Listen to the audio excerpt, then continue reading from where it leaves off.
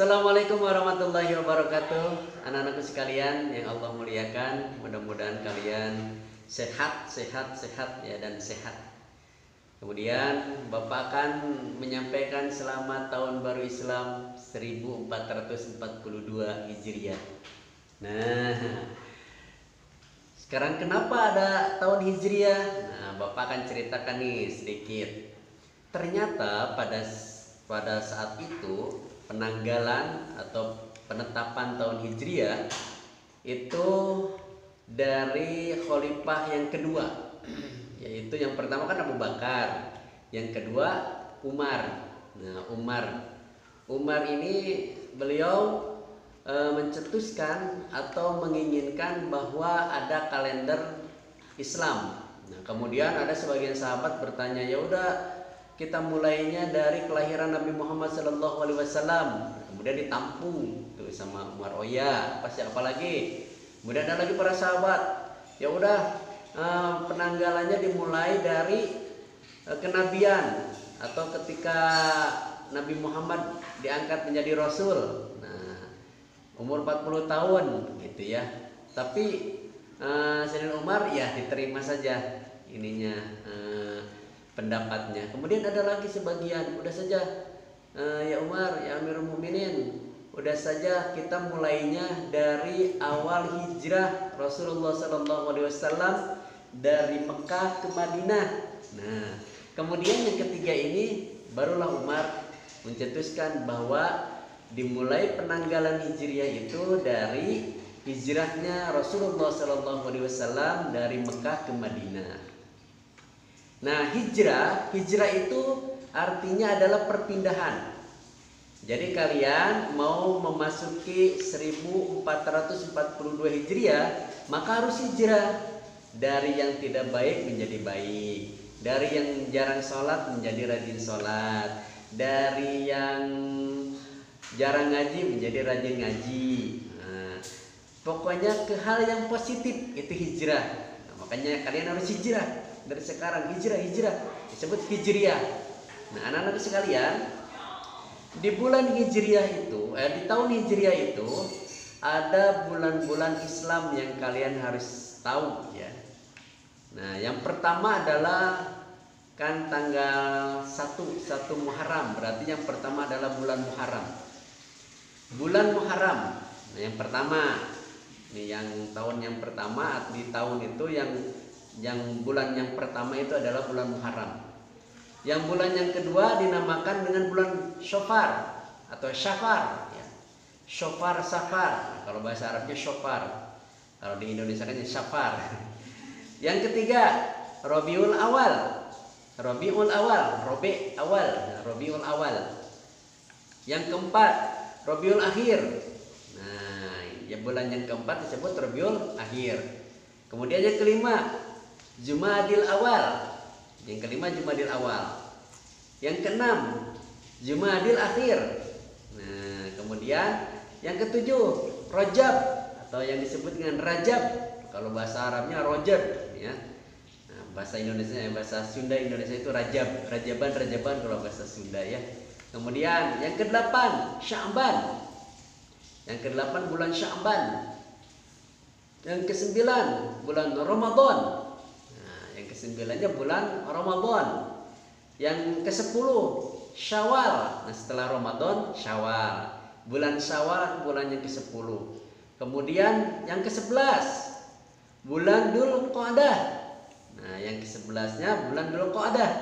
Kemudian yang ke dua belas bulan Dul Hijjah. Nah, kenapa bulan-bulan ini dinamakan ada Muharram, Safar, Rabiul Awal, Rabiul Akhir, Jumadil Awal, Jumadil Akhir, Rajab, Sya'ban, Ramadan, Syawal, Dzulqa'dah, Dzulhijjah. Nah, ternyata di bulan-bulan ini ada momen-momen tertentu atau ada sesuatu di bulan itu. Contohnya di bulan Muharram, kenapa disebut bulan Muharram? Pertamanya ternyata di bulan itu haram haram itu kan tidak boleh kalau halal boleh haram haram haram itu artinya tidak boleh kalau kalian nanti pergi ke timur tengah ada kalau kalian melakukan sesuatu ada orang di sana mengatakan haram haram berarti tidak boleh artinya ya haram itu tidak boleh Jadi haram haram itu eh, Muharram berarti tidak boleh untuk berperang. Nah, di satu Muharram satu bulan itu tidak boleh untuk berperang pada saat itu. Jadi semuanya pada diam di rumah. Nah, gitu ya, itu Muharram, haram untuk berperang. Kemudian dilanjutkan bulan berikutnya, bulan Syafar atau Sapar, Shofar. Nah, bulan Shofar itu, Shofar itu artinya kosong. Shofar itu artinya kosong. Nah, pada saat itu orang Arab keluar untuk perang. Nah, ini sebalikannya. Kalau bulan Safar berangkat pada perang sehingga pada orang pada saat itu orang Arab kosong bulan Safar itu. Di rumah-rumahnya kecuali hanya ibu-ibu yang perempuan-perempuan yang menunggu di rumah ya, para istri-istri dan sebagainya. Lalu laki-lakinya berperang. Kemudian ada Robiul Awal. Kenapa disebut Robiul Awal? Ternyata pada Robiul Awal itu bertepatan dengan musim semi. ada musim semi di Arab itu. Nah, pada musim semi disebut Robiul Awal. Kemudian ada Robiul Akhir. Setelah Robiul Awal, Robiul Akhir. Nah, Robiul Akhir itu eh, orang Arab pada saat itu mengembala hewannya. Nah, hewannya hewan ternak di musim semi pada saat itu. Nah, pada Robiul Robiul Akhir, Robiul Akhir semuanya yang punya Eh, gembalaan yang punya hewan itu digembalakan atau diternak. Eh dia punya hewan ternak dimengembalakan di ladang-ladang musim semi. Itu di pada Robiul akhir. Kemudian ada Jumadil awal. Kenapa disebut Jumadil awal karena pada saat itu jatuh pada musim dingin. Nah pada saat saking dinginnya air jamur itu membeku airnya. Sungai itu membeku. Duh, subhanallah saking dinginnya ya. Nah disebut aja Jumadil awal. Nah kalau Jumadil akhir masih masuk musim dingin juga Jumadil akhir tapi tidak so Jumadil awal dinginnya. Tidak membeku tapi musim dingin. Namanya Jumadil akhir. Kalau kalian pergi Jumadil akhir ke Timur Tengah itu musim dingin. Jumadil awal itu apalagi musim dingin. Nah, kemudian Rajab. Apa yang berhubungan dengan Rajab? Rajab, Rajab. Nah, pada saat itu bangsa Arab melepaskan tombak dari besi, besi tajam untuk nahan diri dari perang. Jadi pada saat Rajab itu dia ingin perang membawa tombak, uh ingin perang-perang, udah bergejolak, tapi pada saat itu melawan nafsunya sehingga tombaknya itu disimpan. Nah, bulan Rajab ya untuk peperangan tapi menahan diri untuk perang. Pengen perang tapi ditahan. Nah, kemudian bulan Syaban apa dengan bulan Syaban? Nah, bulan Syaban itu berpencar ke berbagai tempat. Dari satu tempat Arab itu berpencar para sahabat itu, yang lainnya berpencar. Kalau sekarang furuj, pindah tempat. Pindah tempat ke tempat yang lain. Nah, itu di bulan Syaban. Nah, kemudian di bulan Ramadan, apa itu bulan Ramadan? Ternyata di bulan Ramadan itu pada saat itu cuacanya panas sekali lagi panas memuncak. Makanya kalau kalian bulan Ramadannya di tanah Arab ya atau di Mekah atau di Madinah itu lagi musim-musim panas. Kenapa? Karena di bulan Ramadan itu sedang panasnya itu sedang tinggi. Nah, sedang memuncak-puncaknya di bulan Ramadan. Kemudian setelah Ramadan bulan Syawalnya apa? Nah, saat itu di bulan Syawal karena sudah Ramadan panas, saat itu unta-unta betina kekurangan air susunya. Nah, sehingga pada di bulan Syawal itu yang apa unta-unta betina itu kurang ya kurang air susunya untuk menyusui anak-anaknya. Di situ jadi sudah tahu tuh orang Arab itu uh, di bulan-bulan berikutnya ya. Kemudian ada apa dengan Dhul Qa'dah? Nah, Dhul Qa'dah itu bangsa Arab tidak perang, semuanya ada di tempat. Ya, semuanya ada di tempat jadi tidak perang. Dia diam di daerahnya masing-masing. Nah, un, ya istirahatlah hmm, supaya apa? Supaya mempersiapkan nanti di bulan Sofarnya. Kemudian Dhul Hijjah. Ada apa dengan Dhul Hijjah? Nah, Dhul Hijjah itu di dalamnya terdapat musim haji.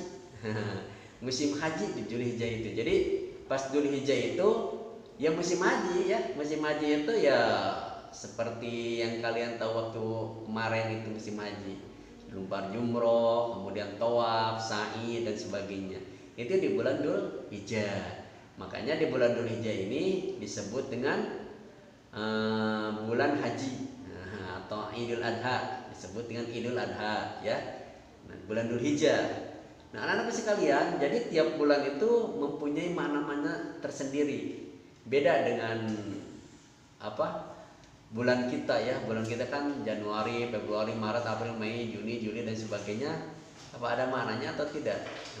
Kurang tahu. Yang jelas kalau Arab itu menyimpan makna-maknanya atau bulan-bulannya itu sesuai dengan keberadaan pada saat itu. Itu luar biasa sekali, ya, luar biasa sekali Eh, penanggalan Islam itu luar biasa sekali. Jadi kalian harus tahu tentang penanggalan-penanggalan di bulan atau di tahun Hijriah itu, ya. Kenapa? Karena sebagai kalian sebagai umat Islam ya harus mengetahui tentang hal ini. Oke? Nah, jadi kalian boleh melihat-lihat nah, sesuatu tentang Hijriah apa sih, gitu ya. Yang jelas Bapak minta di bulan Hijriah ini, ya, di tahun Hijriah Nah, tahun Hijriah 1442 akan memasukinya. Bapak minta kalian harus hijrah ke hal yang lebih baik ya.